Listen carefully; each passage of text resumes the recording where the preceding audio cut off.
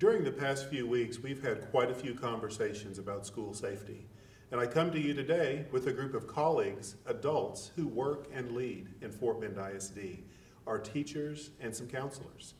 You know, Fort Bend ISD exists to inspire and equip all students to pursue futures beyond what they can imagine.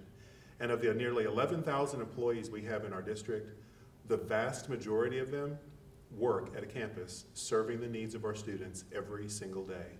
And I know even as our students care so deeply about safety and security, our staff cares too, because they're right there with them every day working side by side to help them succeed. And we want to make sure that our staff voices are heard as part, an important part of this conversation. So today I've got a few questions for the folks who have joined me, and we're going to jump right into them. First of all, I want to ask you all, as adults, how important is your role in keeping your campus safe? Well, we set the stage, you know, however we act, we're gonna be up at the front of the classroom or, or on, for me, on the football field, and so however we're carrying ourselves, the, our students or athletes are gonna reflect that. And so if we carry ourselves with confidence or we carry ourselves in a way that cares about the kids, where they know that, then they're gonna act in a way that reflects that truth. I agree. I think it's really important that my students know that no matter what, yes, we're there to teach, we're there to educate, we're there to help you, but we're there to support you.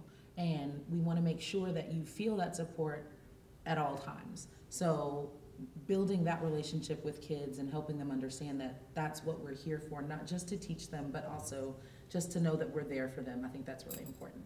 So what does that support look like on a day-to-day basis? You know, uh, speaking from a counselor's perspective, sometimes students feel that all counselors do is do scheduling. And, and they, are, they have a lot of paperwork and that the counselors are busy. And uh, that is not true. You need to come anytime you need to talk to a counselor, just come in, sign in. If it is urgent, let the secretaries know or an adult in the counseling office know that we need to see somebody and we will find them. We'll find a counselor to sit down and talk to you right then. As a teacher, I mean, I have an open door policy, so sometimes I do feel like a counselor, but that's what I, th I think is a good thing, actually. I like having those relationships with my students and making sure that they are comfortable with me um, and the people around them in my classroom.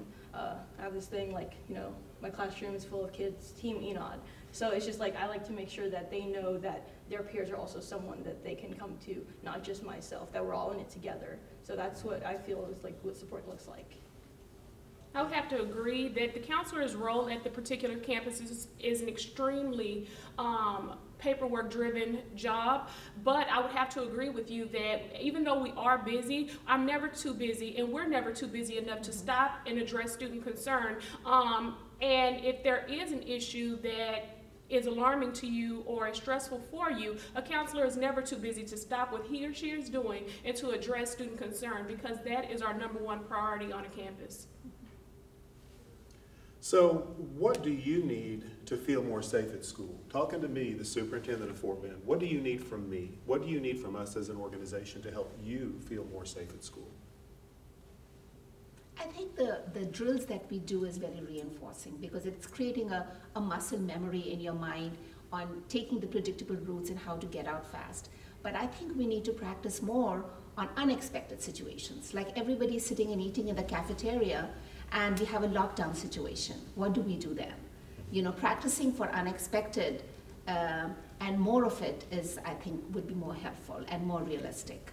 So I think making sure that every adult and every student in the building actually knows what's going on and what's expected of them, um, because some of these fire drills, these um, some of the students and even some adults, they don't really take it seriously. So making sure that we understand the expectations for everyone. And I think even just varying when you do the drills. And after the drill, having even some built-in time there to have a conversation about it. Okay, this drill was great, we did this, but we really need to work on this. You guys were too loud in the hallway. Maybe we need to make sure that, don't forget, once you leave out, every, you, you need to be quiet so that way we can hear if there's any sort of extra instruction and just kind of varying that and again, repetition. Mm-hmm. And, I, and we got to take the, you know, the same approach that we take to curriculum or, or drills, safety drills, we gotta take that same perspective when we're dealing with relationships with the kids. I mean, we make a big, we have a lot of trainings about different curriculums and how to implement them. We do have trainings about how to, to do these drills, but we all talk about relationships as being a foundational part of what we need to do every day. But we very rarely address it in anything other than situations like this, like regular basis. Anything else? All right, next question. Kind of shifting gears just a little bit. What are some healthy ways or skills that you recommend to students to help them deal with stress and anxiety? Um, Again, with the open door policy I have for my students, um, after school, if they need to, they can come and vent, or even before school when they're stressed out about an exam. I have multiple of my former students come in and say, hey, Enod, like, there's a lot going on, uh, I'm gonna complain about this, that, and the other. That's fine, venting is good, making sure that you get it off your chest is good. Um, but sometimes it's also good to go ahead and step back, take a moment, breathe, and just not think about, you know, academics and the pressures of uh, your teachers, your parents, and your, your, the pressures you have on yourself. I think it's very important for us, uh, all of us, to acknowledge and accept that certain situations are just not in your control. And also to look at your uh, stress inducing situation and put it in the right perspective. Is it really as bad as it appears to be? Are you looking at that situation as more as glass half empty rather than glass as half full? So, in order to deal with your stresses, you not only have to take care of your mind, uh, but also your body, and also you have to take some positive actions, like maintaining a positive outlook. Like a lot of times with my students, I'll sit down with them and say, okay, you're saying you don't have enough time. Okay, let's look at your planner. Let's try to plan out what it is that you need to do. So that way it doesn't seem like, oh my gosh, I have three tests this week. I don't know what I'm going to do. There's a project due. No, let's look at it and figure out, okay, if you need this block of time, okay, let's start to segment it out. Let's spend 30 minutes here, spend 20 minutes here, give yourself a break, and just kind of seeking out that help that you don't necessarily know how to do on your own. Like at the middle school level, I don't expect my students to know how to budget time. That's a school, that's tools that adults are still learning. So helping them along that path will help kind of manage some of that stress. Because again, like what she was saying, a lot of it really is put on yourself. So let me ask, kind of extend the question, because this video is going to be shown to all of our students in the district, but we also have staff members watching it. So could you share, what is one thing you do personally to manage stress and anxiety? You've got a big, busy job um, leading in our schools. What do you do personally to manage stress and anxiety? Well, for me, I enjoy time with my family. We have to remember that yes, we do have an extremely stressful job, but it's important to take time for yourself and take care of yourselves your you and your family's needs at all times. Um, and it's okay to put something um, to the side to take care of self. We have to make sure that we are okay to take care of ourselves in order to be a tool for other coworkers, students, and things of that nature. So I think that that's extremely important to remember to always take care of yourself. Yeah, honestly, me, I, I start off every day praying. I'm praying at my desk in the field house. I mean, I'm reading the only book that I ever want to read, and so I'm sitting there reading it and praying for the day and, and to try to put myself in position to be the person I need to be, whether it's for me or for my coworkers or for the kids. Sometimes you want to take a step back, you know, and you want to be, by, well, for me, I like to be by myself. Uh, I like to moment to just be like with myself in that moment and maybe walk around a bookstore. I like food, so get some food.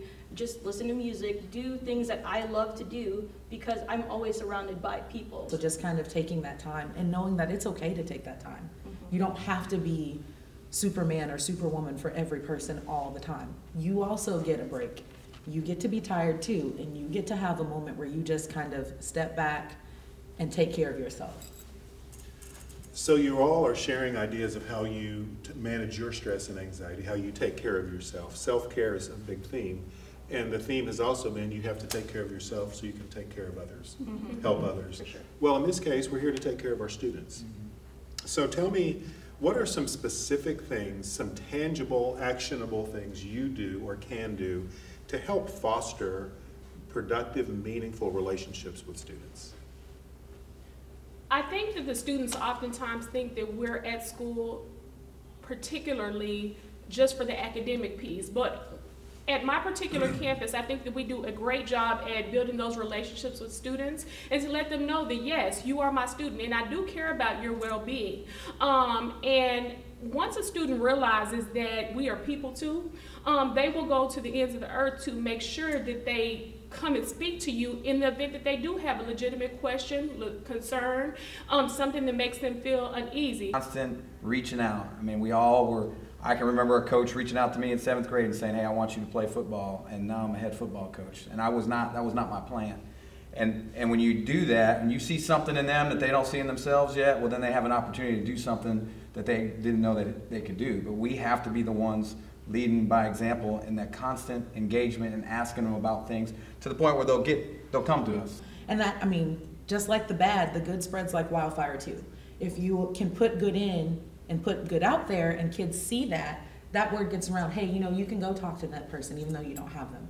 And that's, that's really important for kids to know that they have more than one outlet.